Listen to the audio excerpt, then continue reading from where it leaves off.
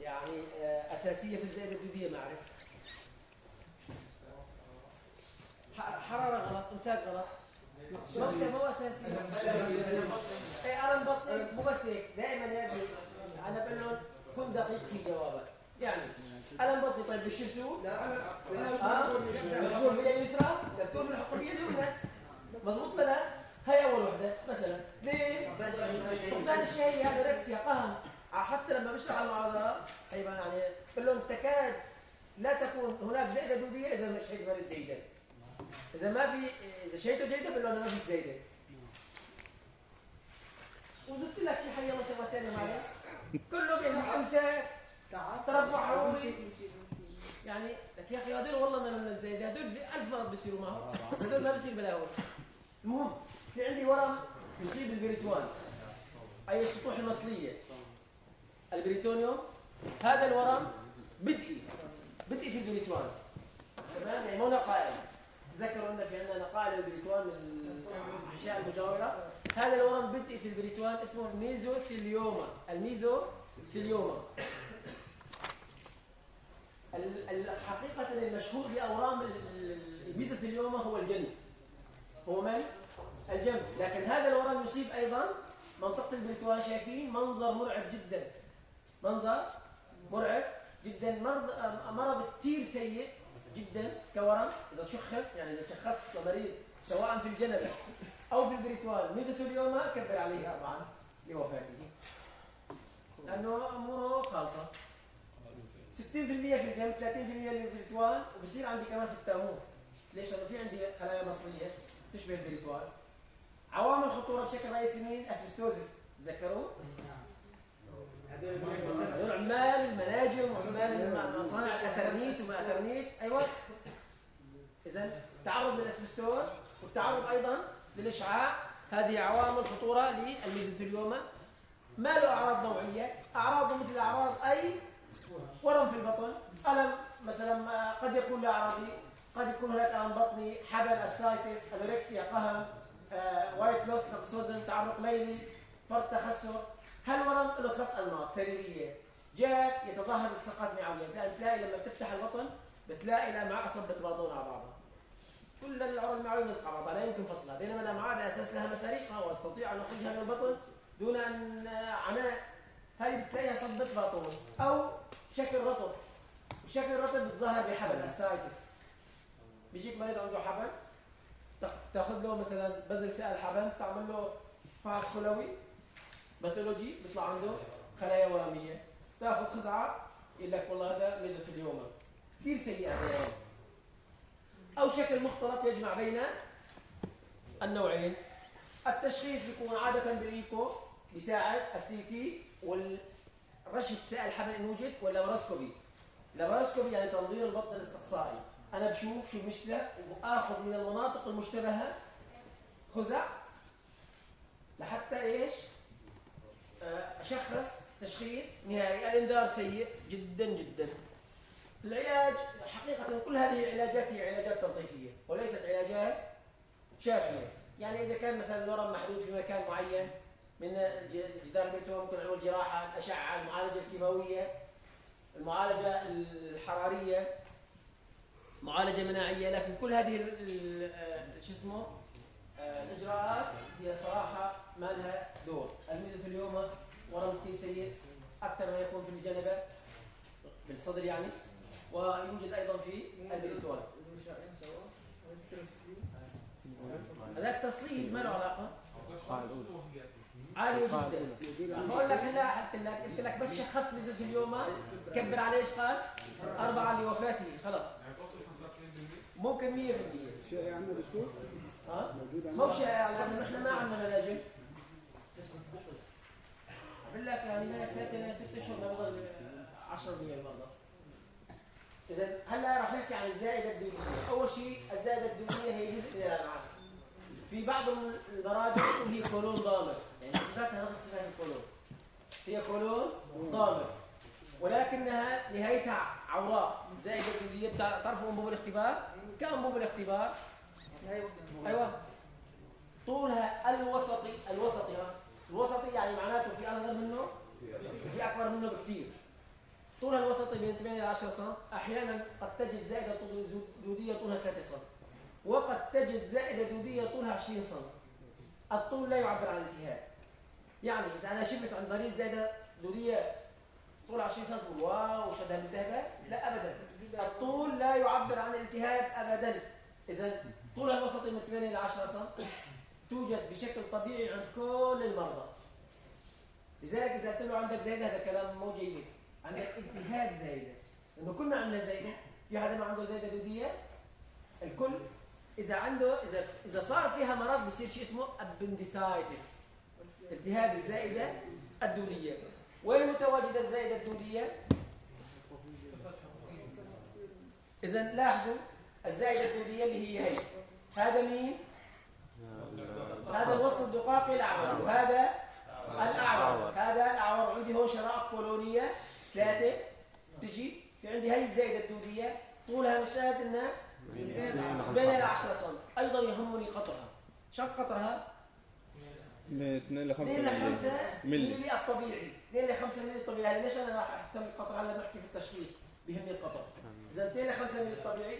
توضعها شايفين؟ الزائدة الدودية لها قاعدة. المنطقة هي اسمها قاعدة وهي اسمها ذروة أو تب. هي بيز وهي تب. هي قاعدة وهي إيش؟ الذروة. وهي من هون لهون هو طول الزائدة الدودية. قاعدة الزائدة الدودية ثابتة. قاعدة الزائدة الدودية ثابتة. أما قمتها متحركة غير ثابتة أبدا.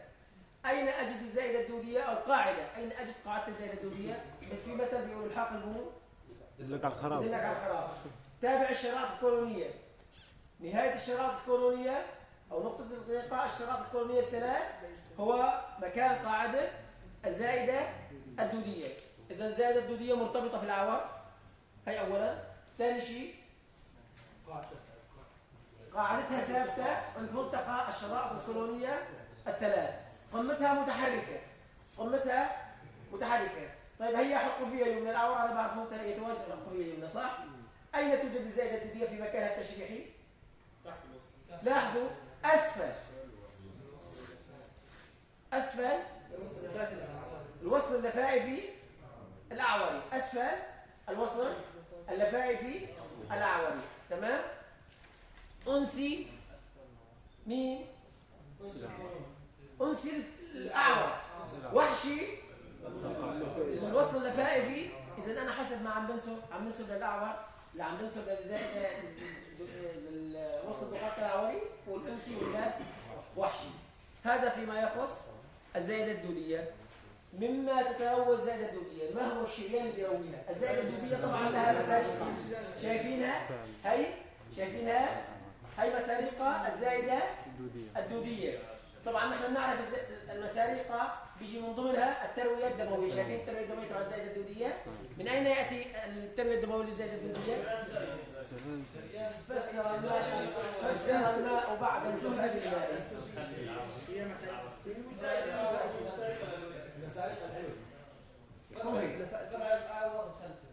إذا نعم هو في عندي شريان اسمه المساريق العلوي بيعطي فرع اسمه إيش؟ لا. هي لفائفي وهي كولون. إذا هذا مين؟ لفائفي كولوني. صح؟ لفائفي كولوني. اللفائفي الكولوني بيجي بيعطي فرعين. فرع أمامي وفرع خلفي.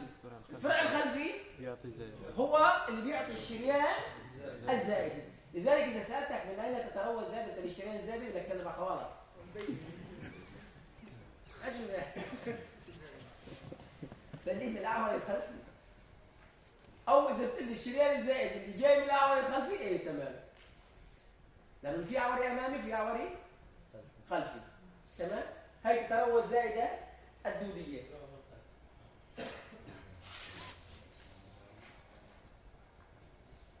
طريقة الزائدة لاحظوا الزائدة لها مواقع عدة. هي قاعدة شايفين هذا شكل كولوني صح؟ لا عندها هو القاعدة لذلك الزائدة ممكن تكون هي شايفين هي رايحة للخلف. هي إيش اسمها بيسموها؟ retrocecal خلف الأعور retro و cecal خلف الاعور إذا ممكن أن يتوضع ان يكون أحد توضعات الزائدة الدوديه طبعا في 75 أو 80% من الحالات أو 90% من الحالات يعني الزائدة بتكون مثلا في حالها الطبيعي بتكون وين؟ أسفل ووحشي الوصل الدقاقي الاعور أو اللفائفي الأعوري أو أنسي الأعور. بهالشكل عندها هاي هاي في 70 أو 80% من الحالات. لكن في عندي زائده بتروح للخلف شايفينها؟ ريتروسيكل في زائده بتروح للحوض. بلفيك في زائده بتروح هيك للأعلى حول اللفائفي. لذلك رح نروح رح نشوف إحنا في حالات خاصة. هلا بس وصلنا لأعراض الزائدة الدوديه أو الأعراض اللي بتسويها بالنسبة للألم البطني ناتج ناجم عن إيش؟ تخريش البريتوان. بتخرش البريتوان. الجداري البريتوان الجداري حساس جدا للألم حساس جدا للألم. بتعرفوا في عندي بريتوان جداري أمامي في عندي بريتوان جداري جانبي في عندي بريتوان جداري خلفي زي مثل الكيس هو يحيط بالجسم كيس لذلك بسموه الكيس الكبير. جوف البريتوان هو الكيس الكبير بينما خلف المعدة شو كنا نسميه؟ الكيس الصغير. إذا هذا اسمه الكيس الكبير من فوق ومن تحت وعلى الجانب كله هذا بريتوان في عندي بريتوان أيضا وين؟ حوضي بالحوض أيضا مغطى في البريتوان لذلك إذا راحت مثلا الزايده للخلف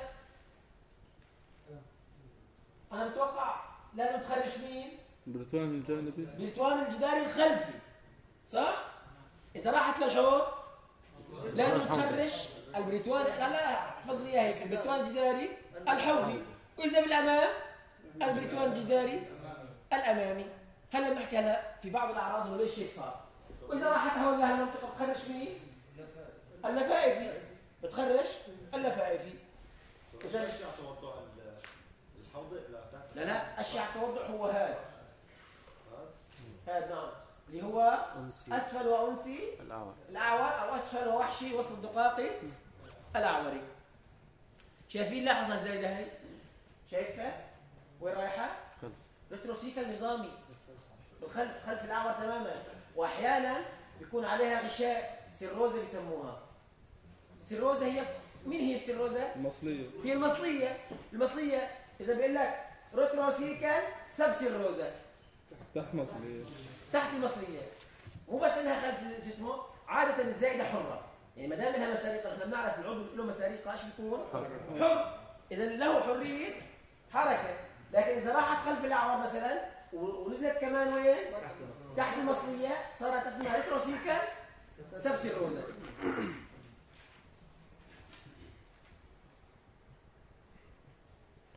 هلا بنجي بقى على التهاب حدا له تساؤل على الزائده من الناحية التشريحية من الناحية التشريحية المجهرية خلينا نسميها أو ال pathology الب... الزائدة في لها مصطلح مين بيعرفه؟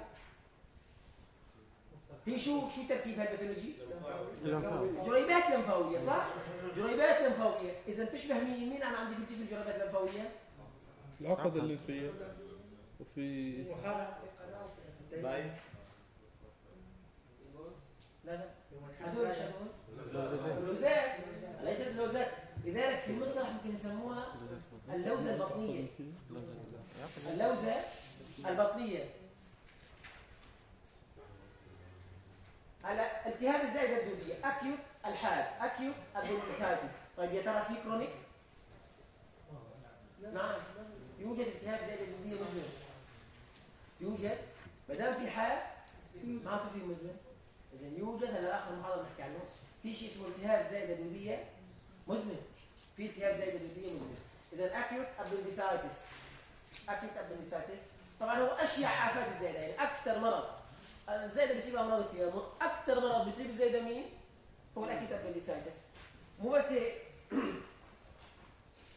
Come on surgical emergency. يعني أشيع الإسعافات الحالات الإسعافية الجراحية.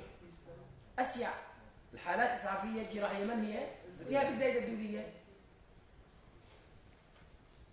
شوفوا والله خبز يومي هنا بالنسبة لنا الجراحين يعني يعني 10% من المجتمع. اسمعي قليلا من المجتمع. 10% من المجتمع يعاني من التهاب زايدة دوديه شغلة كويسة. كل زايدة دوديه 100 دولار. كل أعرف أعمل 75 مو لا تعرف تشتغل أكثر ما تصيب دائما يا ابني أنا بقول لهم دائما في الامراض دائما هناك مرتبطه بالاعمار حكيت لكم قبل المره صح يعني بقول له مثلا اعطيني مريض أو صفات مريض عنده زائده دودية.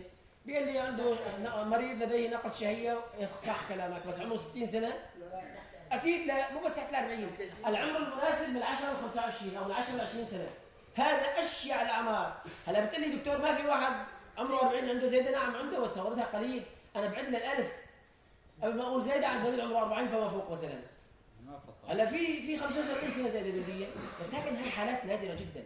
أنا إذا بتقول زايده دوديه لازم أقول إنه عمره المناسب من 10 ل 20 سنة تقريبا. هذا هو العمر المناسب للزائدة الدودية أو الالتهاب الزائدة الدودية. هلا بتصير عند طفل عمره ثلاث سنوات سنتين بتصير زائده دوديه لكن هل هي شائعة بقدر شيوعها عند الاعمار هاي؟ ابدا لا. ابدا لا. لذلك دائما دائما لازم تربط المرض وين؟ بالعمر. طبعا يمكن أن تحدث في أي عمر. أنا شفت زايده عن 75 سنة.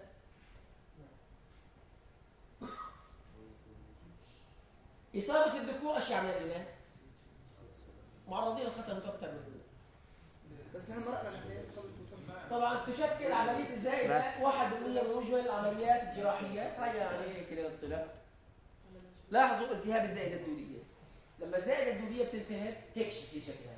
هلا أنا شو ملاحظ عليها؟ أيوه في احمرار مو بس هيك. توسع الأوعية. ال- تبيض بيسموه هذا. أو الأوعية الدموية نمت. ليش؟ الالتهاب دائما شو بيساوي؟ بيجذب الدم. بيجذب الدم. فبصير لاحظ في تبيض تمام؟ أيضا الزائده الدوديه بيكبر قطرها. بتتوزع. وبتصغر اللمعة من جوا. إيه هلا أنا ما بيهمني صغر اللمعه بيهمني كبر القطر. بيهمني كبر القطر. كبر القطر أنا قلت من شوي. اثنين 2 إلى 5 ملي هذا قطر الزائده الدوديه الطبيعيه أما الزائده المفرده بس صارت أكثر من 6 ملي يعني 7 8 9 10 إذا هاي زائده متوزنه زائده متوزنه وهلا راح أشوف هي بتفيدني في التشخيص. بتفيدني في التشخيص لازم تعرفوا لي شغلة ما مشان ما أنساها إنه يرافق التهاب الزائده الدوديه ما هو؟ إيش بيرافق؟ هذا الشريان صح؟ يسوي يرافق التهاب اوعيه ساد، إيش معنى التهاب اوعيه ساد؟ وهي متى مزوري إذا الأوعية الدموية بتروي الزايدة بتتخسر. هي التهاب ساد إنه التهبت الأوعية vasculitis صار صار عندي vasculitis هالأوعية هي التهبت وتخثر الدم فيها. لذلك لذلك لا بنشيله بس النزف النزف عادة يعني قليل. في الزايدة الدودية ليش؟ عاد أنا بدي أطلب شيء شيء الزايدة. لكن في الأساس هو إيش؟ متخسر. في, في الأساس هو متخسر. إذا يرافق الزياده الدودية إيش؟ التهاب اوعيات ساد طيب. ما هي أسباب التهاب الزائده الدوديه؟ التهابها لازم يصلوا جراثيم. ما هي الجراثيم ال- المتوقعة أنه تعمل لي التهاب زائدة دوديه؟ لا لا هو هلا لا هوائيات واحد. اثنين من سلبية هي من سلبيات الجرام كل من سلبيات بس لا شيشه كلي شكية اذا لا هوائيات والشيشه كلي الشيشة كلي ما هي الآلية المرضية اللي بتنسد اللمعه إذا الأساس في التهاب الزائده الدوديه إنه لها لمعة. الزائده الدوديه لها لمعة وين؟ على العور تفتح ولها حتى حركة هويه لها حتى حركة هويه باتجاه مين؟ الأعور. فإذا انسدت اللمعة بس انسدت اللمعة شو بيصير؟ تسكر بتطوف هالافرازات الموجودة فيها بتصير داخلية كلها بتوذم جدارها وبتكبر. لمعتها إذا انسداد اللمعه obstruction of the lumen هو الاساس أو الأش سبب الاشيع لإيش؟ لالتهاب الزايدة الدودية طبعا لاحد الأسباب التالية إما بيصير عندي فرط تنسج في الجريبات اللمفاوية أو بيصير عندي سداده مخاطيه أو بيكون السبب حصاه برازيه لذلك في حصاه تتشكل ضمن لمعة الزايدة وبتسد اللمعه وبتسد اللمعه أيضا ممكن أجسام أجنبية. إيش اقصد في الأجسام الأجنبية؟ مثل البزر مثلا أو آه، بذور الخضروات البندورة الفليفل كذا. ممكن يسدها أيضا في اي كان إذا وأيضا عندي الديدان. الديدان ممكن تسد لي لمعة الزائدة الدودية. وفي 1% بيكون سبب أورام. في واحد بيكون مثلا carcinoid مو سكويد ممكن حصية مرار حصيه المراره لا. كبيرة. حصيه المراره بتسد الامعاء إذا نزلت. حكينا يمكن من الدرس الماضي. دكتور ال GIST بيصير شيء؟ شلون؟ ال GIST يا ابني الأورام هو بشكل رئيسي. أورام زي اللي رح ناخذها هلا بالأخير. ثلاث أورام رئيسية. بيصيبوا الزايده الدوديه اللي هي أول شيء الكارسينويد ثم الادينوكارسينوما في شيء اسمه الورم المخاطي أو القيله المخاطيه ناخذها هلا بالأخير.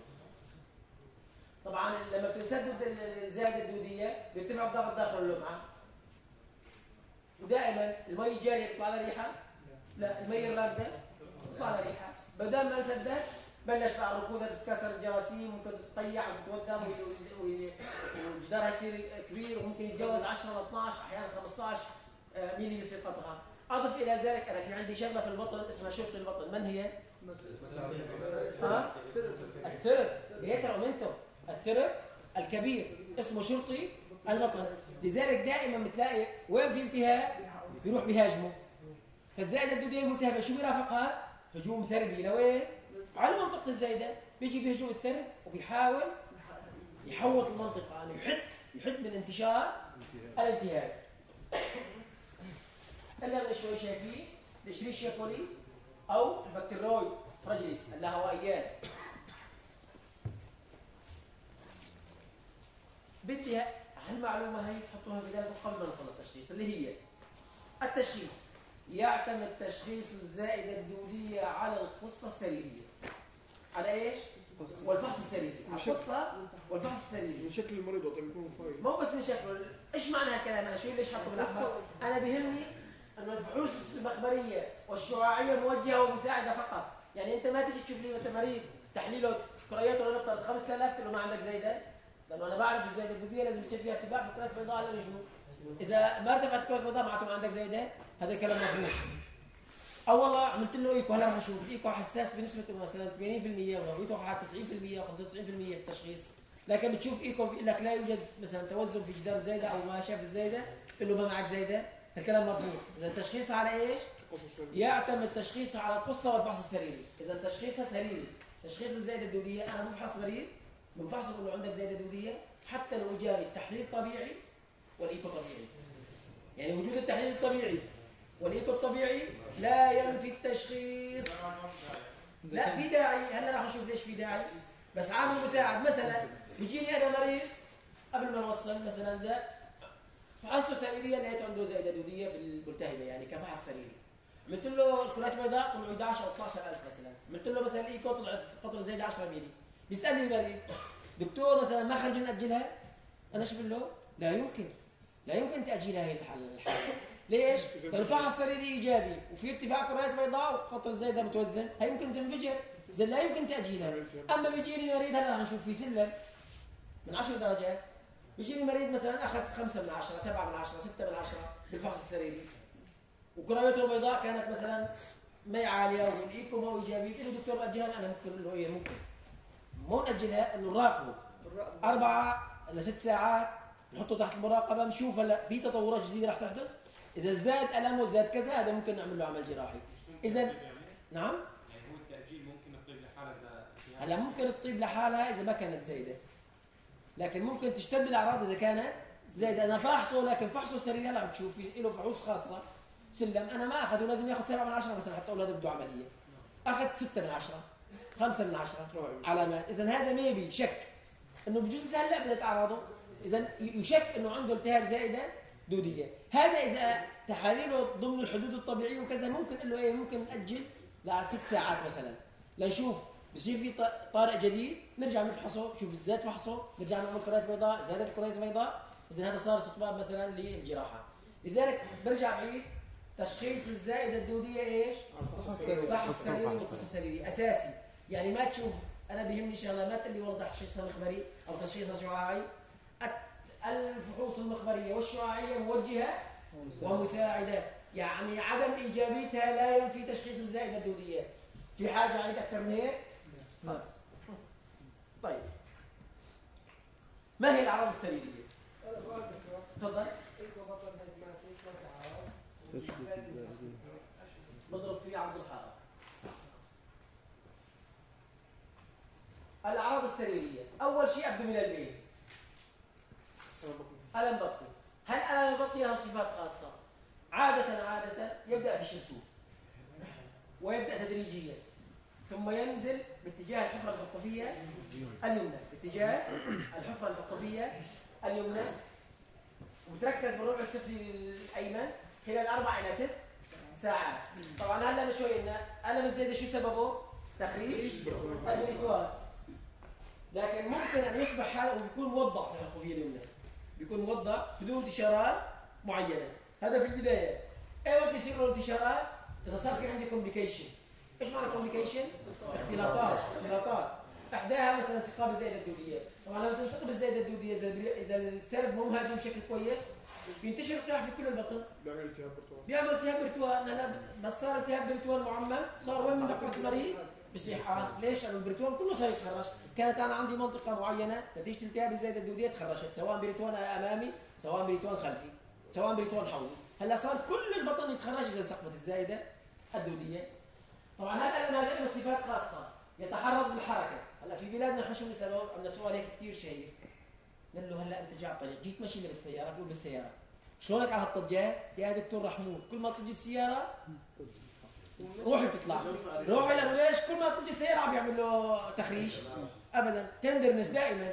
طلع في فائدة للطجات ها؟ طلع الطجات لها فائدة. هذا هذا ال- الماء الألم يتحرك بإيش؟ بالحركة. وأيضا بالكف. هلا في عالم خاصه اسمها علامه السعال. إذا المريض طبعا لما بيسعى شو بيساوي؟ بيرفع الضغط ضغط بطنه بصير ترج. كأنه حركة. كأنه حركة. لذلك بطنه بتصير ترج بصير كمان عنده الم ورفع الظهر اذا شد حاله بيشد البريتوان بينما اذا حنى حاله بيرخي. بيرخي شوي. بيرخي شوي لذلك ويخف على السكون. تلاقي المريض الزايد هيك هيك. طيب بس هيك هذا الملتهب مضبوط زي هيك. كاشش يا دوب عم يتحرك. ليش؟ لأنه كل ما حرك حركة بصير عنده تخريج بيتوان حتى لما بيشطحوا على الطاولة بس بيشطحوا على الطاولة بسموها علامة الطاوله الثلاث هيك. ثاني اجره وعامل هيك مثل علامة كأنه التهاب سحايا معه يد ما بيتحرك. طبعا هذا زائده نموذجية هذا بنحكي عن التهاب زائده دودية نموذجية. الإقياء أيضا الم بطني وأقياء. هالإقياء له صفات خاصة في الزائده الدوديه طبعا هذه مي إنه كمان 100% عادة مرة أو مرتين لمرة واحدة. بصيب المريض إقياء ولكن صفة هذا الإقياء مثلا هذا طيب شو بتنفع؟ تنفع عندي التهاب البنكرياس مثلا. التهاب البنكرياس إقياءات نافوريه شديدة. لا تريح المريض. لا بيرتاح عليها. هاي الاقياء مرة أو مرتين. مرة أو مرتين بيرتاح. اذا vomiting ممكن يخف شوي عليه وال anorexia الاساسي شايفين شايف 95% لذلك أكاد أجزم. أكاد أجزم. إذا المريض عن شهيته جيدة إنه هي زائدة دوديه إذا شهيته جيدة هي ما هي؟ زائدة. دوديه إذا الم بطني حقفيه يمنى. فوميتنج اقياء وانوركسيا. قهوة. لا ما بنعتبره ثلاثي بس هذول أعراض رئيسية. هذول أعراض رئيسية. في التهاب الزايده الدوديه هلا بتجيني أعراض أخرى. إمساك أو إسهال. هلا نحن أنا بعرف اعطيتكم لازم معلومة. كل حالات البطن الحاده شو بتسبب؟ مرحله من المحاضره حكيناها إمساك. لكن في بعض الأحيان بيصير عندي إسهال. مع عشان يفسر مش تشتد الحركة ابدا. بتزيد حركيه الأمعاء. إيه ليش؟ التخريج. إذا تنبيه الزايدة الدودية. تتذكروا الصورات اللي كنتوا ركزوا على أماكنهم؟ لما كانت رايحة وين؟ على اللفائفي صح؟ طيب لفائفي واللفائفي عليه مصلية كمان، عليه ولا ما عليه مصلية؟ صار الالتهاب ملامس للمصلية. صارت تخرج يمين. اللفائفي وسط الدقائق العورية هذا المعروف هو في صرمان صارت حركة هون سريعة. صار إيش؟ عند المريض؟ إسهال. إذا طيب بيجيني مريض عنده التهاب زي الدودية إسهال. نعم بيجي. أيضا من التخريجات الأخرى إذا كانت الزائدة الدودية خلفية. نتروسيكا تسبسي الروزة مثلا. هذا عم بيتولد الجدار الخلفي صح؟ أنا هون إيش عندي تشريح؟ لذلك يعني التشريح أبطل الحالة مو الكلية. لا الكلية غلط. ليش؟ لأنه الكلية عليا فوق تحت الأضلاع محمية الحالة نعم. هلا الحالة إذا تخرج شو راح يصير عند المريض؟ ما الله القلب يصير عنده تعدد آه، آه، آه، شو اسمه frequency تردد. بصير يروح على تواليت كثير وممكن نتيجة تخريش الحالة يطلع عنده كريات بيضاء في البول. لأنه التهاب. لذلك دائما نحن جرت العادة إنه مثلا المريض اللي عنده التهاب زايده شو له تحاليل؟ CRP CRP بول وراسب ليش البول وراسب؟ البول وراسب مشان أعمل فيه إذا عندي أنا مشاكل في الجهاز البولي لكن إذا شفت لي إذا فحصي السريري جيد وشفت لي شيء 15 20 كريه بيضاء في البول ما جريمه ليش ما جريمه؟ لأنه أنا بعرف طبعا بكون فحصك السريري هلا بشوف انه هي زايده خلفية هلا مثلا خلال الخبرة مثلا اختصاص جراحة فترة طويلة صرنا إنه أنا من فحص المريض انه المقيم هي زايدة خلفية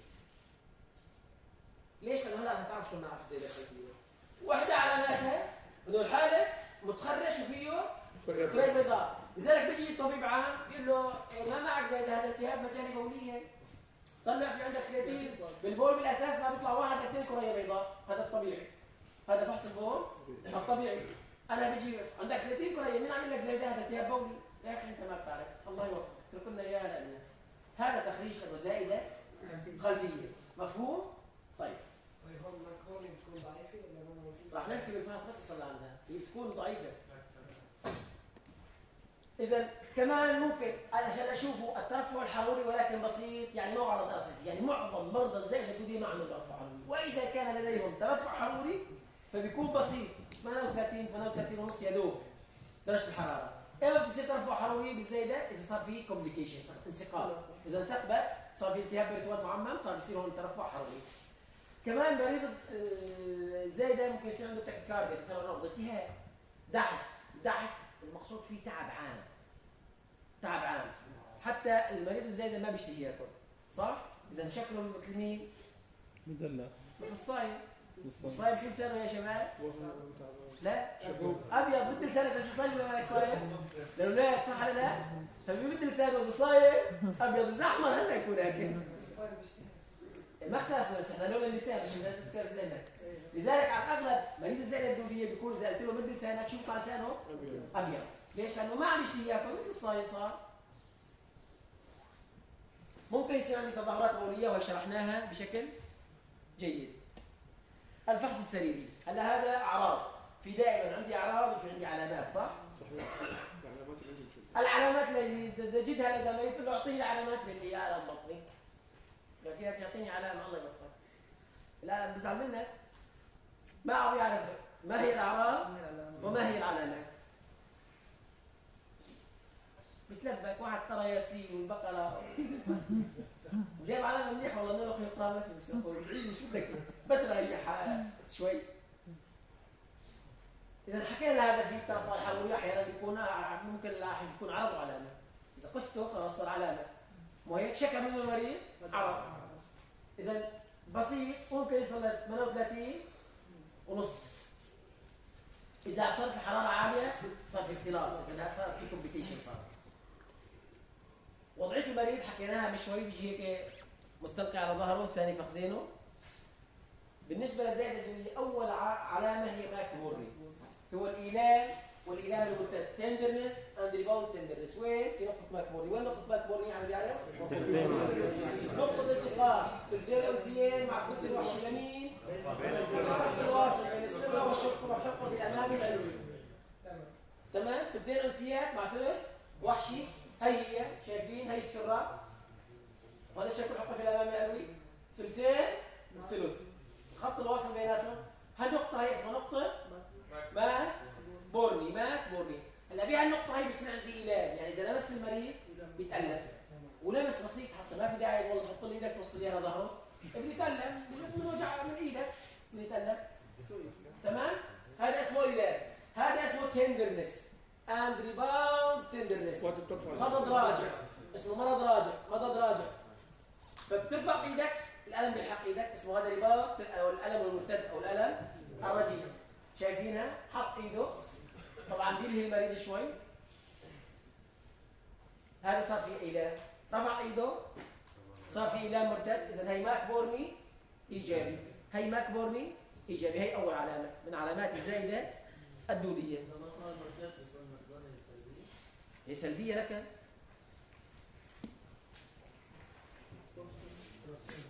في عندي علامة ثانية اسمها Rovsing sign Rovsing sign هلا علامه ماكبورني إذا كانت الزائدة الدودية خلفية بتكون ضعيفة. ليش؟ لحتى يصير الالتهاب كثير ويخرش لي البريتوان الأمامي لحتى يصير عندي ترفع صوت تاني يا أخي ماكبورني موجودة ولكن ضعيفة. السبب إنه هي عم تخرش الخلفي ما عم تخرش الامامي تخرش؟ ها؟ ما بدك توصل إيدك للظهر ولا بدك إيدك يحدث ألم بالخلفي؟ هلا في الخلف في حفره حرقفيه علامة Rovsing العلامة Rovsing sign هي ألم في منطقة ماكبورني ولكن وين الضغط؟ على نقطة مقابلها. مقابل ماكبورني بالحرقف تضغط في الحفرة الحرقفية اليسرى. بيصير الألم وين؟ بالحفرة الحرقفية اليمنى. ما السبب؟ الغازات كولون أنا ضغطت من منطقتين الغاز اللي رجع مع الكولون خرش لي المنطقة مو زايدة ما- على قاعدة الأعور فبيحركها فبيعطيني تخريش زي علامة Rovsing Rovsing إذا الضغط على الحرقفيه اليسرى بيعطي علامه الحرقفيه اليمنى هيروفسيد ساين في عندي كمان شايفينها؟ دوم في ساين اللي هي كافين إحنا بنسميها علامة السعار علامة السعار تطلب من المريض يسعل طبعا إحنا مشطب عشان بيسعل علينا شو بدنا ندير وجهك عطانا هو ما عارف ليش عشان بيسعل علينا. سعود إيش صار معك؟ بيوجعني عم يتخرج. إذا اسمها علامة السعال في عندي علامة البسواس اللي هو بسواس الحقوفية القطنيه العضلة. وين هيك بتكسر الحقوفية القطنيه؟ آه، عم دور الكبير للفخذ الصغير على المدوى الصغير ما هو عملها؟ آه، يا إما عطف الجذع يا عطف الفخذ على الجذع أيوه. أو العكس عملها عاطفة للفخذ على الجذع تمام؟ لكن يا شباب الب- ال psoas عضلة وين؟ جدار البطن الخلفي في عندي عضلات لجدار البطن الامامي وعندي عضلات للبطن الخلفي الجانبي غيرها الجانبي هذول بيجوا من الجنب ال external oblique وال internal oblique إذا عضلة خلفية إذا البريتوان عليها اين البريتوان؟ خلفي صح؟ لذلك أنا إذا حركت ال psoas مين بيتحرك معي؟ البريتوان الخلفي لذلك البسواس علامة إيجابية في اين زايدة؟ الخلفية مفهومة؟ وشلون أنا بساويها مع علامه البسواس؟ بعطف بعطف وبدها. ببسطها أو بدك تبسطها فقط. للاسفل المهم إنك تخ- تخرج تعكس عمل العضلة. بدك تعاكس عمل العضلة. والأفضل إنك تعطف. الفخذ على الجذع هيك هي عم هذا عملها صح؟ بدي اعاكسه هلا ببسطها لما ببسطها بهالشكل لازم يحس بألم. وين؟ في الحقوفية اليمنى. ليش؟ لأنه هالمنطقة اللي تألمت على البسط اللي أنا تألمت تألم معناته خرج مين؟ البتوان الخلفي. تألم أما اللي ما عنده مشكلة بالخلفية تعطف له إياها وبتبسطها ما في شيء في شيء لا لك ما في شيء طيب حتى بتذكر يمكن مرة هيك إنه عم يرفعوه رفع الإجر كله. لا هذيك لازق. هذيك لازق يا ابني هذيك علامة لازق للديسك ها؟ لكن خرج العضله اذا في في حدا الأعراض انه في علامه كان خرج بالعضله أو بترفع له اجره هيك تحس بالم نفسها نفسها يعني نفسها علامة بس هي هيك تنفيذها إذا عم يعلموكم إياها خطأ خطأ هيك فكر فيها منطقيا الأساس إنك إيش تساوي؟ تعكس عمل تعكس العضله عمل العضلة لأنه راح تتوتر راح تضغط أيوة. على ال فأنا لما عملها شو؟ العطف هلا إيش بتساوي أنت؟ ابسطها ابسطها بتحرك البريتوان الخلفي مشان إيش تاخذ وتعطي؟ مشان ياخذ ويعطي البريتوان نفسه خراج البسواس ولا نفس هلا يمكن. هذيك فيها مقاومة يعني بيرفع أجره وأنت بتحاول تقاوم. يمكن هيك. بس إيش اسمه فقط ذكر في الأعراض تشخيص يمكن لا مره مشان ما تختلط يا ابني العلامه أنا العلامه بكون هيك ما ما ما تعرف دقيق لأنه أنت في عندك علامة مثل حكايتها اسمها علامة لازق شو هي علامة لازق؟ في منطقه بتسطح تسق لظهر لازك بتتني له أجره على لا هو تت- تطلب منه يرفع مع البسط تعاكس هيك شيء بسيط بيقول لك إنه صار عندي الم على الرفع هي علامه لازق أو إذا عم تقدر بقوة عضلية مثلا بتقدر قوة الساق مثلا ترفع الرفاع تضغط له عليها تشوف شد قوته كاملة لا ضعيفة لا كذا لا ما حسن يرفع لذلك الأفضل إنه تسني وتبسط هي. مين؟ يا أخي خذ العلم من أهل العلم طيب. مفهومة؟ نعم. أجيب لكم اياها بالامتحان ها؟ رجعنا اياها لا. في عندي علامة أخرى اسمها obturator sign العضلة السدادية يا شباب العضلة السدادية وين؟ يلا الله يعطيك العافية. يا حيوانات لا بدي الثقب أنا السوداني آسف يا شباب ترى وجهت لحدا بكون عم نمزح معكم ها؟ عندي لا الثقبة السدادية وين الثقبة السدادية؟ في عندي عظام الحوض صح؟ في عندي شعبة عانية. مظبوط؟ الشعب العانية بيناتهم. هون الثقبة السدادية بيجي عليها مين؟ العضلة السدادية إذا هي وين؟ بالحوض ولا وين؟ بالحوض. إذا هذه علامة لمين؟ لزايدة حوضية. هلا من شوي كمان التشريح لازم تتذكروا لما شلنا لكم هي رايحة على الحوض. إذا الزايدة الحوضية بيتخرج البريتوان مين؟ الحوضي. شلون بدي أخرج البريتوان الحوضي؟ بدي كمان أعكس العملة هي العضلة. حركها. بس حركتها بيتخرج البريتوان الحوضي بيعطيني علامة. إذا هي علامة إيجابية في الزائدة الحوضية. لذلك أنا شو بساوي؟ دور دوران داخلي للفخذ الأيمن. دوره للداخل. دوره للداخل. فإذا قلب المريض معناته عنده علامة الشدادية إيجابية علامة وهي لمين أين زائدة؟ زائدة أضف إلى ذلك في عندي أنا جدار بطن مين بتغذى يا شباب؟ لا اطلع اليوم بدي أنا اطلع بذهنك منين بتغذى جدار البطن عصبيا؟ التعصيب الحسي منين بيجي؟ لا ولا 10 حكى واحد كلمة صح مين؟ من 6 ل 12 الاعصاب الصدرية السته السفليه الاعصاب الصدرية الستة السفلية بتعصب جدار البطن طبعا عندك مثلا هون شاد ستة. 6 7 8 عند السرة 10 بالمنطقة الخصريه 12 بين المنطقة الخصريه والسرة شطار من 10 ل 12 10 11 أو 11 12 وين؟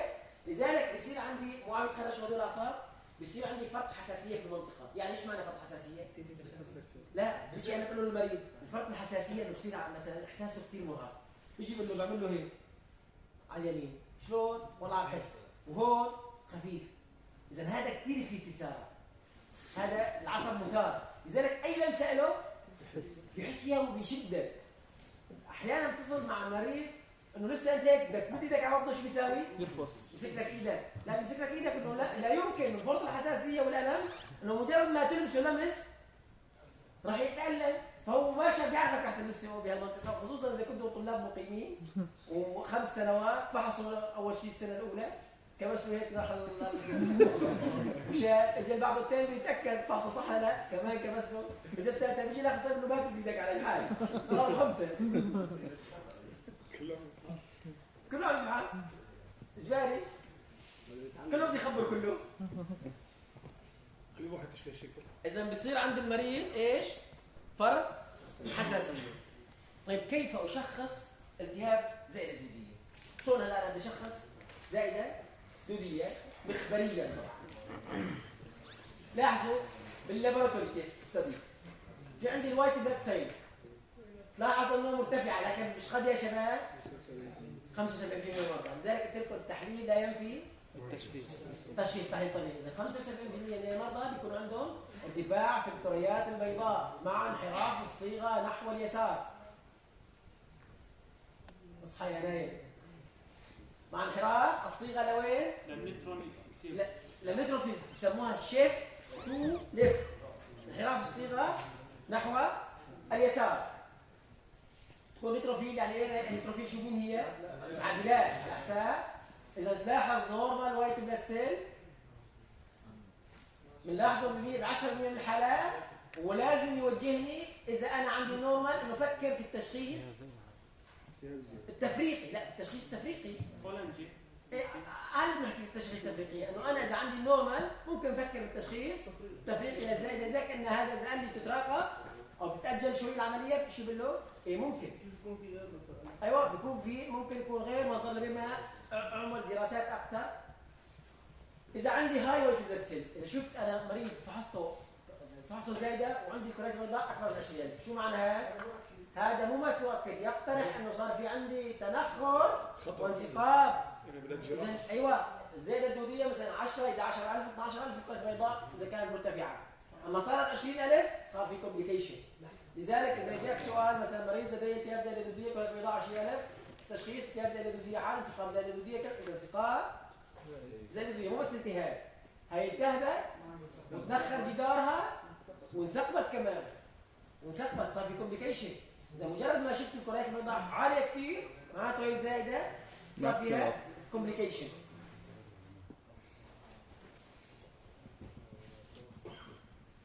هذا بالنسبة لفحص البول.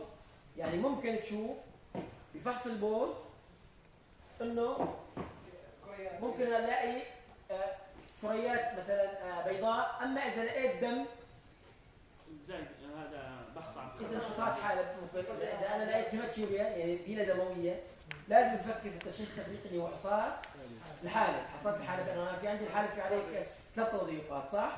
وين أول تضيق؟ اول حويضي حالب ثاني تضيق هل مكان هذا مكان مين؟ مكان الزيادة الدودية صراحة تشريحيا. هلا شفنا زي بتذكر الصورة تحت كان الأوعية الحقوقية إذا إذا كانت الحصاة هون تعطي نفس الأعراض. نفس الأعراض الزيادة الدودية ألم لكن هل ألم هذا شو بيرافقه؟ hematuria تمو... بيلة دموية لذلك لازم تفكر بال stone. تبع الكلية ال ultrasound الإيكو. ماذا يفيدني في الإيكو بالزايدة الدودية أول شيء يا شباب بالنسبة للإيكو أول أول لا لا اسقاط على الاسقاط الإيكو له تقريبا نوعين من البروبات. في probe بيسموه convex يعني منحني. هذا ال probe وهذا الإيكو الحشوي. يعني إذا أبحث عن الكليه أبحث عن كبد عن كذا بصور بالايكو الحشوي وفي نوع آخر اسمه linear خطي سطحي. هذا بيكون تردده عالي. هذا بيصور لي مين أقل عمقا أقل عمقا. بالزائده الدوديه اللي بالإيكو بيفيدني هو الإيكو ال linear وليس الإيكو الحشوي الإيكو الخطي اللي بيكون تردده عالي وهذا بيبحث عن أشياء أقل عمقا. تمام؟ بسموه إيكو سطحي. هلأ بالإيكو في الزايده الدوديه أول شيء أنا بعرف التهاب الزايده الدوديه شو بيصير فيها؟ بتنسد اللمعة. صح؟ فلما تنسد إيش؟ تكبر. إذا بشوف أنا أول شيء وزنها في الجدار. زائد قطرها بيكون إيش؟ كبير. أكبر من 6 أكبر من 6 ملم زبط. 6 ملم ملم مو ملم زبط. أيوه. إذا أكبر من 6 أو أكبر من 7 ملم حتى. شايف؟ صحيح صبح بس يعني صحيح. أكبر من 7 بالإيكو. أيضا شوف شوف أيضا بالإيكو. دخلنا لا الجدار. هلا أنا شوف في لمعه في جدار والجدار توزن. ممكن يكون في فوق فوقه سرب إذا صاروا دوائر فوق بعضها. شو الدوائر هي بسموها؟ أنتوا الشباب لازم تعرفوها بسهولة؟ هذا هدف. لا لا بيقوس أو بيعلموه على التدريب إيش بيدربوه؟ بيحطوا له دريه وعليها إيش؟ إذا صاب المركز صاب المحيط صاب كذا حسب الدقة. هي إيش علامة الهدف. هي ال target sign target sign target sign إيش هي؟ علامة الهدف. يعني دويرات بقلب بعضها. لذلك إذا قال لي الطبيب تبع الإيكو مثلا أول شيء بيقول لي عروة معوية غير مضغوطة. هلا بالأساس العروة المعوية بالايكو ضغط عليها هي لها لمعه تنخمس صح؟ إذا كانت عروة معوية نظامية. هلا نحن قلنا كنا زايده كولون ضامن؟ أما الزائدة بيضغط عليها في الإيكو ما تنضغط لأنه اللمعه متوترة. اذا أول شغله عروه معويه غير مضغوطه قطرها مثلا 8 ميلي تبدي علامه الهدف. اذا معناته عم يوجهني لوين؟ لما صح؟ يعني اللي عم يصور في الأشعة ما بيقول إنه التهاب زائد دودي بس بيوصف. وصف. هلا هم أيوه هو بيوصف لك. بيقول لك إنه وبيقول لك بقى الربط مع السريريات. أنت بقى. شوف سريرية. ما بيحط على رقبته شيء ما بيحط رقم شيء سريريه إلا إذا كان يعني هيك عم يتفهمك. بيقول لك عروه معويه أنا شايف أنت مطالب منه قلت له إيكو بطل مثلا للحفره الحرقفيه اليمنى من ال probe السطحي. ليش؟ معناته أنت عم توجهه لوين؟ عم تقول إيكو. وبطل وبروب سطحي وحفره حقيقيه يمنى ضلوا في اثنين بدهم يختلفوا عليها. إذا بده زايدة يبحث لك عنها بيقول لك غير مشاهدة.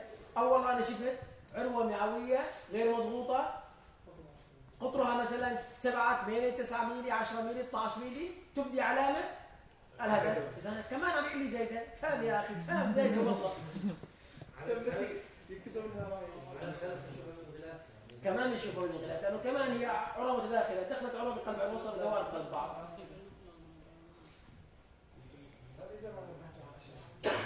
يا ابني لذلك أنا بقول له بكرة بالستاجات أو مثلا بالامتحان مثلا قلت له أعطيته أعراض زايدة شو بدك؟ ايكو بطن. شو بدك ايكو بطن؟ بدك المراره عم بعطيك إياها المراره طبيعه شكل والحجم.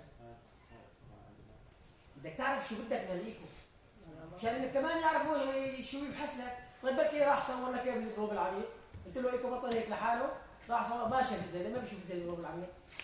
أما لما أنت عم تقول له ايكو بطن بال probe السطحي معناته بيفهم إنه بدك الزايده طيب بيساوي لك ايكو بطن عام لكن بيركز لك وين؟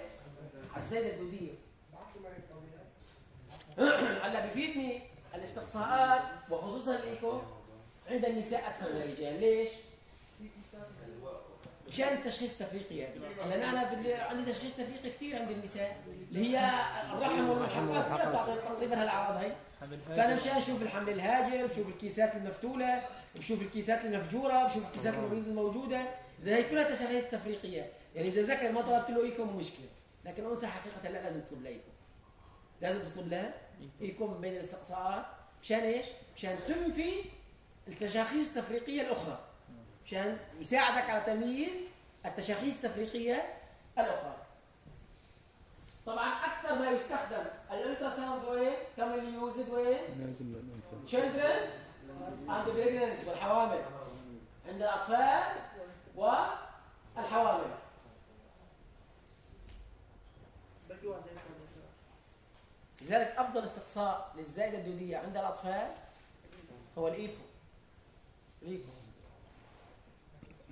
أيضا ممكن صورة البطن البسيطة تفيدني كان اشتقاق حشر الأجوف. مشان انسقاب الحشرة الأجوف كتشخيص تفريقي هذا واحد. شغلة ثانية؟ السداد الآن إذا لا شفت صورة طبيعي. بطن بسيطة ذات اليوم ما ضبطتها لا لا. سيدنا معاي تشخيص تفريقي زي ده كثير صعبة كثير هذاك في ت- ت- انتفاخ بطن مو بقى حكينا فيه. بتضرب وظيفة الإفراز وكذا. هلا أنا من شوي إن أيوه حصية الزائدة الدودية ممكن تنسد بإيش؟ بحصاد وغازية فأنا ممكن أشوف الحصاد ولكن هي قليلة. قليلة. 10 إلى 15% من الحالات بس. لكن ممكن تفيد. أيضا ممكن إيش؟ ممكن بالانتقام الحقنه الباريوم اليمنت ال barium enema شو بتساوي؟ هلا إذا كانت الزايده طبيعيه لها لمعة لازم يعبي يعبي ال- اللمعة تبع الزايده إذا كانت ملتهبه يكون سيد سادة فما بيعبي اللمعة. ما بشوف اللمعة. تمام؟ ما بشوف اللمعة. فإذا بيكون في عندي لكن ما حدا بيطلبها الصراحه استقصاء يعني كثير مق- مقيت كثير مقيت ال- الإيكو الإيكو البطن أفضل. وحساسيته شايف؟ الإيكو البطن؟ sensitivity شايف؟ باليد الخبيرة. انتبهتوا؟ باليد الخبيرة. مشكلة في الإيكو يا شباب شو هي؟ أنه استقصاء شخصي. يعني أنت عم تقرأ تقرير هلا ما في حدا بيقول لك والله شوف لي في الإيكو ولا مو في طباعة له ما بتبين ليش في له حركات خاصة؟ فلذلك هو يعتمد على على إيش خبرة اللي عم يساوي الإيكو. في واحد ما عرف من طاجة بالإيكو. لذلك حساس ونوعي باليد الخبيرة. شايفين؟ sensitivity شقد 85% وال specificity النوعية شقد أكبر من 90% اذا الايكو كثير ممتاز في تشخيص الزائده الدوديه لكن باليد؟ خبيرة الخبيرة. باليد؟ الخبيرة.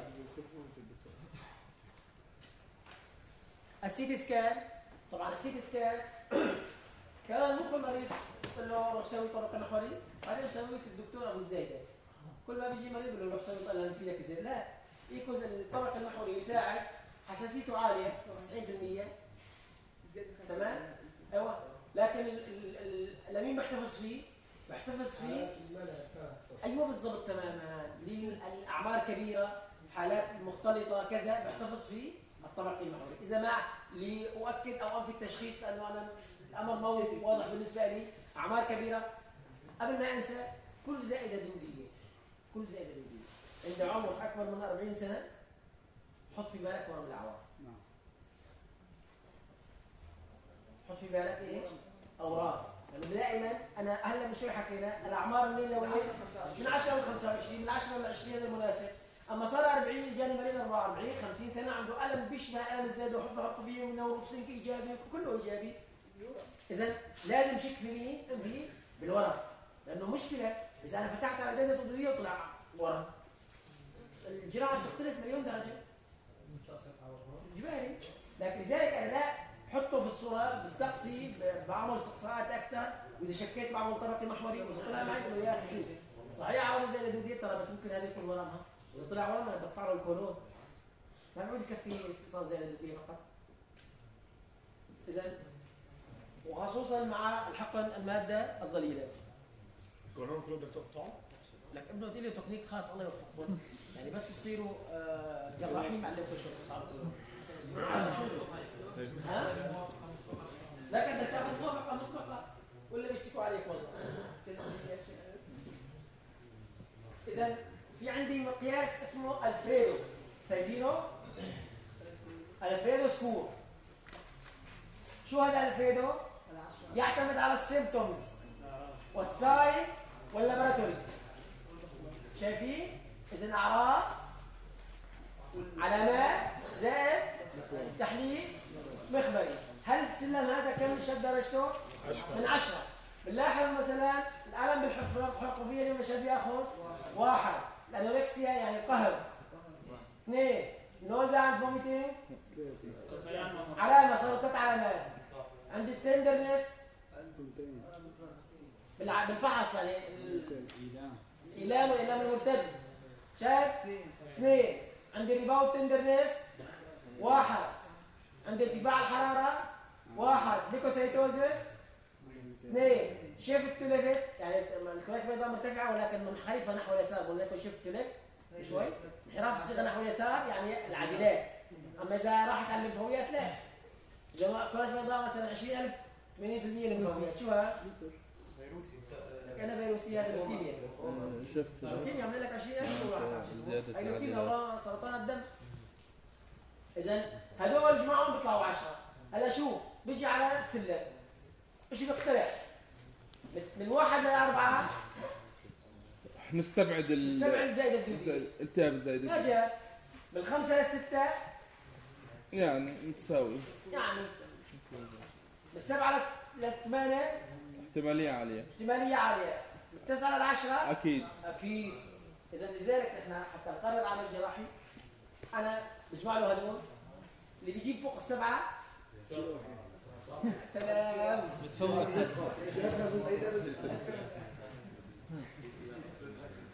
تمام؟ هذا اسمه سلم ألفريدو. سلم ألفريدو. حالات خاصة. في عندي حالات خاصة زي هذا حكينا عليها حالات عامة. النساء الحوامل. الرحم يا شباب شلون بيكون تطوره؟ الرحم ممكن يوصل للرئه في نهايه الحمل صح؟ في الأشهر الثلاثة الأولى وين بيكون الرحم؟ حوضي. بعدها بيبلش يطلع بالحوض بطني. مثلا بعدها بتصير سنتي أو سنتين بسبب التوليد شد يرتفع ما كل أسبوع سنتي أيوه شد يوصل فوق تمام؟ لذلك بنلاحظ إنه خلال الأشهر الثلاثة الأولى أعراض الحامل مماثل لغير الحامل. تمام؟ لكن عندما يصل إلى الشهر الخامس الرحم طلع صار عنده السرعة. فبيدفش معه مين؟ كولون الأعور. بتفش الأعور. والأعور معروف بيسحب مين معه؟ حكيت لكم على زيد على اليسار إيه حكيت لكم إياها. ها؟ هاي الطفلة من هي أيوة، صغيرة الطفل عملوا لها طلع بالاحشاء والأب صار مع مسك الأعور باليسار. وين صارت الزايده؟ باليسار. لأنه بتلحقه وهي في قاعدة الاعور لذلك لما اندفش لفوق تلحقه كمان. لذلك بنلاحظ إنه يبدأ الرحم بدفع الاعور والزايده نحو الأعلى. يصبحان متوضعين في ناحية المراق الأيمن. لذلك بتجي تفحص المريضه وين بيكون عندها إيش هذه؟ تحت الحافه الضلعيه تقول هي مورفي؟ لا. انت لازم تعرف اسمك حكيم. انه هي مرأة حامل. واعراضها كلها الم بطني وقهم وكذا. وما له علاقة في الطعام الدسم ما بيشتهي. هذاك بيأكل بي- بيساوي. المراره لذلك لازم تفكر إنه عندها أنا عندها هي حالة خاصة. إنه لذلك نقطة ماكبور إيش بتكون عند الحيوان بعد الشهر الخامس سلبية. بيجي سؤال بالامتحان بحطوا نقطة ماكبور ايجابيه يا الله ماكبورني صح؟ أي يا ابني طبيتك أنا. كيف لما بتجاوب عليه لأنه يحمل لا والله سهل يعني والله العظيم في اسهل من هيك يعني مبينه لك أنا اعمل لك دائما حامل شهر خامس إيش معناته ضحم فوق يا أخي الدنيا. العالميه يعني ما تمرني سلبيه بس هي بدي اياها منك تعرفها جيبها بالامتحان ما بيعرفوها لو كان في مثلها كثير يا أخي مو بس هيك. في كثير مثلها طيب بدنا عليه أيضا في عندي الأطفال أيضا حالات خاصة؟ ليش حالات خاصة؟ المشكلة يا شباب عند الأطفال ما بيعرف اللي عندي الم بطني وحطوا فيه يمنى ومضض ومضض راجع والامور هاي لذلك صراحة معظم الأطفال تحت عمر الخمس سنوات بيجيبوا انسقاط زي الادويه ما بتشخص لحتى ينسقط ليش لحتى ينسقط؟ لأنه بيصير عنده بطن جراحي بصير يشكي وبيبكي يكون طبيب الاطفال عم يعالجوا الاوزان يوم اثنين ثلاثة الولد ما استراح بعد صار اخ بطني ولا بقى يأكل بيحولوا على الجراح. بحط على بطنه ولا هي حجره بقول له يا أخي هاي زايدة ومسحوبة. الله لا يوفقه. يا أخي والله لو جايني أنا بدي بعرف شخصه من البدايه ليش؟ لأنه الولد ما عنده شو اسمه؟ ما ما- بيعرف شو اسمه؟ الاعراض السريريه وكذا وتحط له إيه وشو صار وارتد ولا ما ارتد. ما بيعرف هاي لذلك معظم الزوائد عند الأطفال تأتي بال complication مختلطة. يعني بتاتي زايده دوديه ملتهبه ثم انثقبت لحتى تشخصها. عجزهم عن اعطاء قصة مرضية دقيقة. كثرة الشكايات الهضمية عند الأطفال، إيه، كل شكاية هضمية كانت له زايدة والله العظيم صحيح. بتدفعوا معاينتين على طول. يلا دكتور أطفال على دكتور جراحة. مصيبة. إذا غالبا ما يتظاهر يترفع حوله ليش؟ لأنه صارت تسحبك. وقياءات. لذلك نسبة الاختلاطات عند الأطفال تناهز 50% بسبب صعوبة وتأخر التشخيص. طبعا أفضل استقصاء يساعدني على التشخيص عند الاطفال مين؟ حساس ونوعي. تذكروا حساسيته عالية؟ ما- عالية. الحوامل كمان شو؟ ليكو. هلا حوامل سي تي بيصير؟ لا. أشعة. كمان ففتح مخها. صحيح؟ الزائده الدودية بالسي تي بفيك فيها. بس عندنا حوامل لا يجوز استخدامه اذا المسنين أيضا اذا آخر تشخيصهم يعني أطراف العمر. الصغار والكبار لأنه كبير بصير عقله مثل الطفل كمان ومناعته كمان بتصير ضعيفة وارتكاسه بيكون ضعيف ما بيتجاوب لذلك المسنين. كمان غير متوقعة.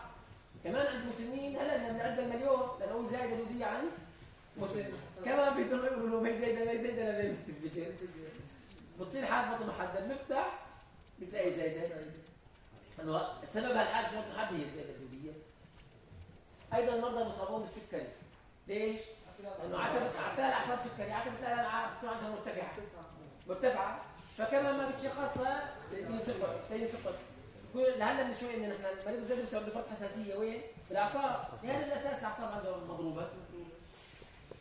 أيضا بيشابههم المرضى المثبطون مناعيين أو المعالجين بالكورتيزون أو المعالجين كمان هدول المرضى بيكون لهم وضع خاص. بيكون لهم وضع خاص. هاي حكينا فيها. أيضا لازم تنتبه إذا كانت مرأة متزوجة وعندها تشبه اعراض زي الدولية لازم تطلب لها؟ حمل هاجر. لا تطلب لها اختبار الحمل. حامل ولا لا؟ حامل فك شكل الحمل الهاجر. شكل الحمل لازم تنفيه. لازم تنفيه. أيضا هلا اذا اختلط علي الأمر مثلا خصوصا عند النساء يا ترى زايدة ما زايدة والأمور هيك بدها عملية ممكن أعمل إيش؟ laparoscopy تشخيصي وعلاجي بشوف بعيني زايدة التهاب ولا لا وبشيلها أو إذا كان كيس المبيض بحصلها إذا بشخص وبعالج بنفس اللحظة من خلال laparoscopy تنظير البطن ما هو التشخيص التفريقي للالتهاب الزائده الدوديه؟ يعني التشخيص التفريقي للالتهاب كل حالات البطن الحاده هي تشخيص تفريقي. طبعا التشخيص التفريقي كمان يعتمد على عمر المريض وتوضع الزايدة وجنس المريض، ليش؟ هلا الاناث بيطلع لك 1000 تشخيص تفريقي، مو مثل الذكور، لا عندهم بقين ولا عندهم رحم. أول شيء التهاب العقد المساريقيه الحاد.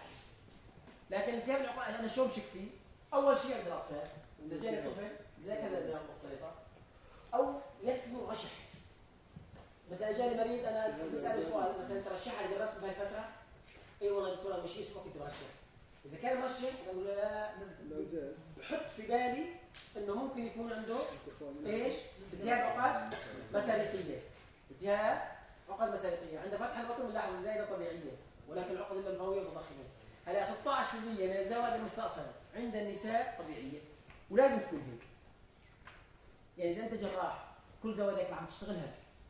ملتهبة أنت مرق زوايد ملتهبة بس مالك حاس عليها وثقبت لذلك لأنه في تشخيص تفريغي كثير كبير بتفحص المريض يطلع كله يعني علامات وأعراضه أخذ سبعة من عشرة. ما بتشتغلوا؟ لا بتشتغلوا اشتغل زايدة. وتطلع عند النساء خصوصا تطلع طبيعية أفضل ما تتركها. وتنسقب ليش؟ لأنه النساء عندهم إخصاب عندهم بوقين إذا انسقبت صار التهاب بالتوان يصير في التصاقات. إذا تسقط البوقين شو بصير عنده؟ عقم. عقم. وهي مصيبة ما بتنحل. حتى أي عملية شيل الزايد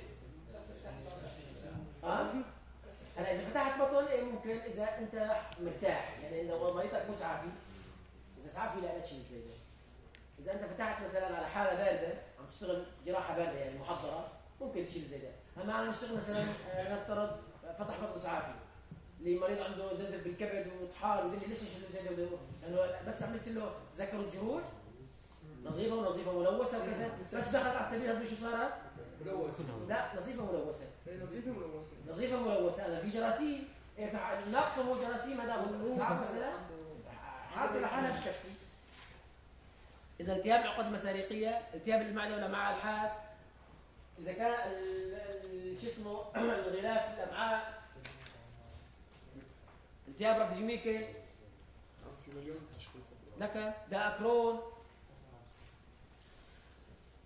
انسقاب القرحة العفجية انسقاب السيل التهاب الرتوج التهاب الزبالة السببية انسقاب سرطان العور أو سرطان تذكروا ما كنت نفكر فيه. بس إيه متى طبعا هذول كلهم عم عملت كل يوم سرطان العور عن مريض عمره أربع سنوات. بعد إيه كبير هذا بيكون مناسب عمره. إذا التشخيص التفريقي يعتمد على العمر والجنس. والحالة السريرية كمان كان مرشح يقول له التهاب القلب السريرية. أيضا التهاب الحويضة والكلية.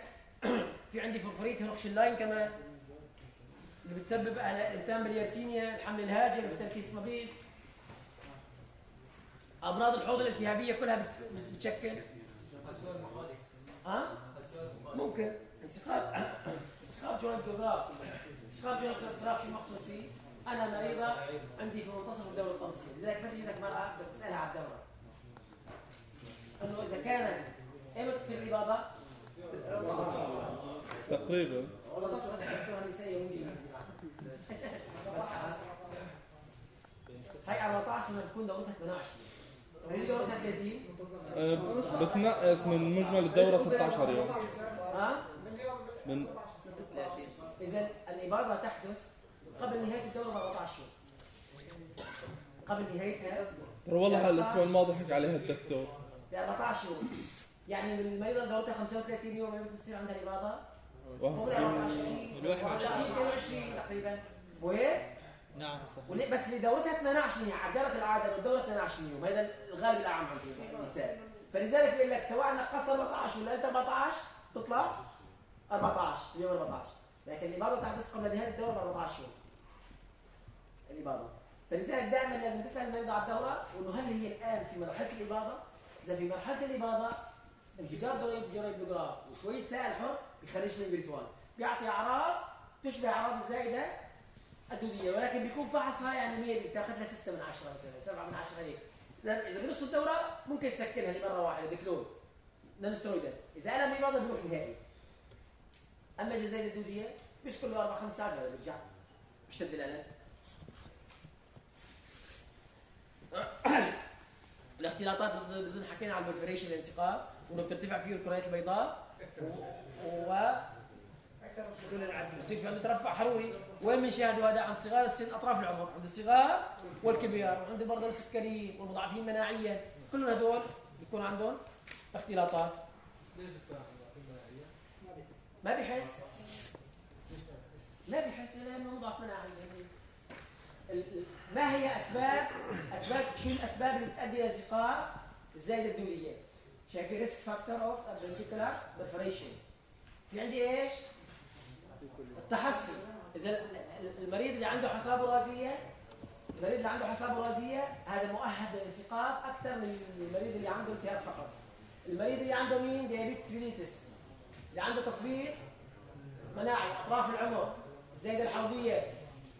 اللي عنده جراحة سابقة على الحوض. اللي بصير عنده التقاء الحراره بتصير عالية. والوايت بدها تصير بتصير عالية.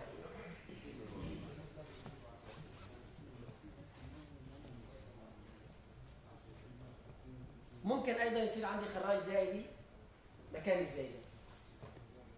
اذا انثقبت والثقاب تحدد بصير عندي خراج. بصير عندي خراج. وهون ما بقى إحساس أصل زي الدوديه ليش أنا بصير مع هشة وكذا؟ أنا ممكن ادخل بس فجر الخراج وأطلع. ممكن يصير عندي التهاب بريتوال معمم ايمت في انسقاب انسقاب الزائده إنترنت الجروح طبعا الجروح طبعا ما أخذناها لما أخذنا الجروح تذكروا؟ قلنا نحن إذا الجروح النظيفه الملوثة بصير نسبه الانتان فيها مثلا شايف 3 9% إذا بتعرف لذلك جرح الزايدة لا يخيط تجميليا. لا ما بتخيط تجميليا. بقول لك نصف كتيكولار ما بتخيط. ليش؟ لأنه أنت عملت كتيم. الكتيم ما سمحت للناس. بكرة بيأنتن وبصير خراج بتضطر تفتحه من بدل بدل لذلك خيطه خلي له شيء ينزل شوي يا أخي. مشان إذا بده يلتهب تعصره قبل ما يساوي. لذلك دائما الدكتور والله خيطها تجميلي بالزايده يا أخي ما بصير تجميلي. بالزايده ما بصير. تجميلي نسبه التهاب الجرح بتكون عالية. ممكن تحتاج تحط مفجر. طبعا ممكن حتى بصير عندي ناسور برازي. وين ناسور برازي؟ قاعات الزايدة الدودية. قاعات الزايدة الدودية إذا بتنخرة والجراح ما عرف يتعامل معها. فتذكروا النواسير؟ وحكينا عنها. فبصير عندي مفرزات برازيه تطلع من جرح الزايدة. طبعا بعد يوم اثنين خمسة سبعة المريض بيجي بضل يشكي. انه دائما جرحه طاب بس في عنده هيك تنداي على طول. تيجي تصوره فيستولا جرام بيطلع متصل مع الاعور اذا هذا ناسور الدحل. حكينا في النواسير أعتقد. أيضا ممكن تسبب لي انسداد امعاء الالتهاب الزايدة الدوديه في عندي شيء اسمه الدرع الزائدي الدرع الزائدي شو هو؟ هو عبارة. دائما بس الدرع معناته في كتلة. الدرع شو هو؟ الامعاء الدقيقة المسالك قد تجي بتلتصق في الزايده وبيجي السرب كمان بيلتصق وين؟ في الزايده فبتجي أنت عند مريض مثلا عنده أعراض زايدة من 14 أو 15 يوم صار له تفحص بطنه ولا صاير درع كتلة. بس الدرع يعني في كتلة. بتجس إنه في عندك كتلة بتحطوا فيها اليمنى. قصته سريريه وعمره مناسب. تقول له يا أخي أنت صار عندك درع زايده صار عندك شيء اسمه إجت الأمعاء والدنيا وحاولت زايده وما خلت الالتهاب ينتشر فهذا يعالج علاج محافظ مبدئيا لبين ما يكتشف ممكن تتركه خلاص. ما في أي داعي تسوي له. قديما كانوا يقولوا عالجه شهر ونص بعد دخول شيء زي لا خلاص بطأ اتركه لا تشيلوا شيء. خالصين. اورام الزايده الدوديه نادرة الحدوث ولكن موجودة. أكثر شيء بنشوف فيها مين؟ كارسينويد التيومر شايفينه؟ حكينا في ال carcinoid tumor نادرا ما يتظاهر ال carcinoid tumor تبع الزايده الدودية بأنه يكون مفرز. نادر ما يكون مفرز. إن لما بيكون مفرز شو بيعطي اعراض مين؟ فرط افراز السيروتونين ال flushing وكذا ما حكيناها. العلاج طبعا حجم حجم الورم إذا إن هذا الورم ورم حدي صح؟ لما بيكون صغير الحجم بيكون سليم. كبير خبيث. لذلك الاورام الأقل من 1 سم بالزايده الدودية لما بتشك فيها كارسوني كافي استئصال الزايده أما إذا كانت أكبر من 2 سم فبدك تشيل مع الجراحة ورقيه مع الأعور. بتشيل مع الأعور. أيضا في عندي من الأورام الزايدة الدوديه في عندي الأدينوكارسينوما. بيصير مثله مثل باقي الكولون. في عندي كمان قيله المخاطية وأكثر ما بتصير القيله المخاطيه وايمت في الاستئصال غير كافي. أنا استأصلت هلأ ممكن تجي زايدة دوديه صايرة مثل الحويصة. عبارة عن كأنه سائل كأنه سائل. الزايده الدوديه منتفخه بشكل شديد وضمنها مخاط. ضمنها إفراز شديد للمخاط. وممكن تجي كمان هاي القيله المخاطية إذا الجراح مشى الزايده كامله ترك لها جزمور. ممكن هالجزمور هذا ينمو ويشكل لي قيلة مخاطية لازم تستأصلها جراحيا.